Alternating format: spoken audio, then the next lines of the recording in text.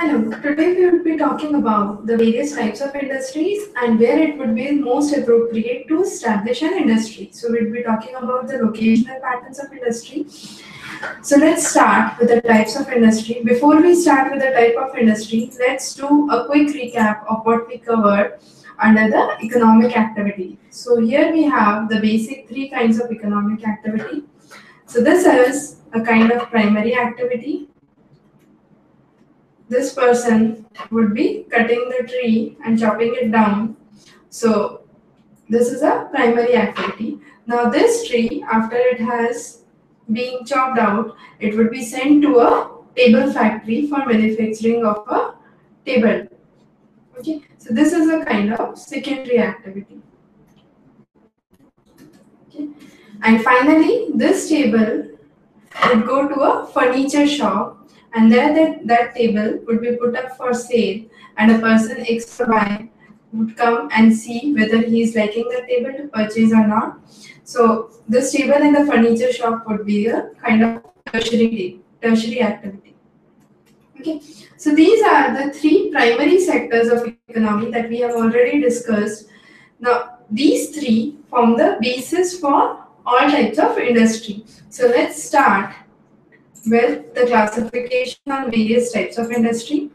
So we'll be classifying industries based on various different parameters. So the first parameter that we would be considering is based on raw material. So on the basis of raw material, we can say whether the industry is based on agriculture. So you have agricultural produce coming in, like cotton coming up uh, for manufacture of textiles. Then you have mineral based you have copper and iron coming in for manufacture of steel. Okay. Then you have forest-based industry. You have paper pulp uh, coming uh, for manufacturing of paper pulp. You have forest uh, forest uh, logs that are coming in, or you have marine-based industries which are using marine products. For example, cod liver oil to manufacture cod liver. Uh, sorry, uh, liver of cod to manufacture the cod liver oil. Okay, so this is basically based on raw material. The next is based on the role of industry. So you have either a basic industry, which is the fundamental industry, for example, iron and steel industry. So iron and steel form the pillars for any construction activity. And then you have the consumer industry, for example, toothpaste, you have brush, everything that you use in your day-to-day life or it's a commodity. So chocolates, these are all kind of consumer industries. So this is based on the role. Then you have based on investment, you have small scale, medium scale and large scale. Uh, this categorization varies from country to country. Uh, let's say for India, uh, small enterprise would be 25 lakhs, medium would be 25 lakhs to 5 crore and above then uh, above then that would be large scale. So this varies from country to country. Then based on ownership you can have public sector industry which is totally under the government lookout okay? Then you have private sector which is owned by a private firm. Uh, for example let's take an example of reliance. Is a private sector industry in india. Government industry you have the india post then you have joint sector. Joint sector is the activity which is governed both under private and public. So it's kind of public-private partnership, we call it as joint sector. And then you have cooperative sector, for example, Amul. So it's basically, and farms in Russia are all cooperative sector. So it's basically the local people of the region get together and join hands to hands to form a cooperative section of the society and that produces things for the uh, purpose of themselves and for market. So that's kind of cooperative sector. Then based on raw material, you have heavy industries and light industries. For example, watch industry is a kind of light industry. Okay, heavy industry includes again iron, uh, steel industry. It's a kind of heavy industry. Then this is an interesting classification. Resource-based industries or footloose industries. Resource-based means industries which need to be located near the resources. For example, let's take again steel industry. you must have iron nearby, coal nearby, water nearby. Okay, then only you can have iron and steel industry. It's requiring the location of resource to be close to the industry. The other is footloose industry. For example, computer chip industry, IT industry, anywhere you can put a laptop and start ask people to start working. So that does not require any specific location where a person would require to sit because you will have easy availability of raw material. It does not require any such parameters. So that is a kind of footloose industry. It can be located anywhere. So these were the various classifications of industries that we have talked about today. Now we would be covering on, going on to the next topic that is location of the industry. Now if I am an entrepreneur and I want my factory to be set up into certain parts, I have an option, say for example, out of these five states, okay, I have to choose in which state I have to start my plant and my plant is for say a new iron and steel industry again, okay what would be the parameters that I would take into consideration? First is whether people are willing to invest in the region. I have five localities A, B, C, D, and E. Okay. Now, these five localities, I would have to see whether there is inward investment and that chance of investment is easy or not. Supposedly, it's in a very rural and tribal area Will a person come and invest there? It would be very difficult. So this would be ruled out in that case. Now I'll have to see opportunities for expansion. I'll have to see whether I can get extra land in future if I want to expand my industry. Okay. So if I am an entrepreneur and I am willing to expand my business, I'll have to have an eye onto whether I have enough space for expansion in future or not, or is that location which I am getting amidst a busy crowded city. So if it's already between a very crowded city, what would happen is I won't get a chance to, to expand. Then I have incentives. Is government providing subsidy in that area? For example, if I say in area A, government is providing lot of subsidy because government wants to develop this area on a full new basis. Uh, consider this as a, one of the smart city projects that are coming up. Okay. Then I'll have to see whether this area is connected well with transportation and communication. I have internet facilities, I have communication facilities, I have my facilities of my worker commuting daily. So all these facilities I'll have to take into account. Then the reputation of the region, whether this region has a good reputation or not. The crime rate in the region, the competition, whether there are ample of power supply or not. So that's again an important parameter. Then I have to check out the external economies of the scale. I need to see whether people are living by in the nearby areas or not. Because if I don't have a lot of people who are living in the nearby area, what will have to uh, what would be happening is people will have to commute long distances, and those who are commuting long distances tend to uh, move on to other sectors or other industries which are nearby. Then I have to see whether I have enough raw material, enough coal, iron and water in the nearby regions where I am planning to set up the industry. And finally, since iron, uh, iron steel industry is kind of heavy industry, I'll also need to see whether the market is nearby or not. Because if I'm manufacturing it in say 200 kilometers away from the main city and another region I am manufacturing it 50 kilometers away from the main city, my transportation cost here would be very less as compared to 200 kilometers.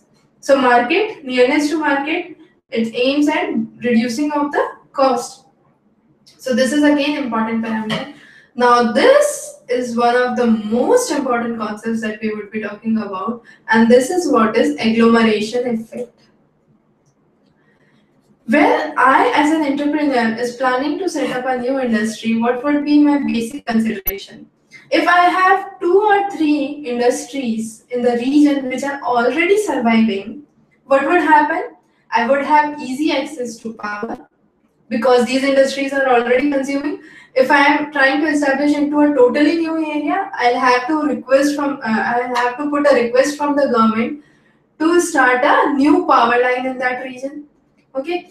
Then since workers are already commuting and coming to this region, they have transport and communication facility that is already there. So this is what is explained under the agglomeration effect. Due to the existing firms or industries in a particular region, any new industry that wants to come up has an easy way.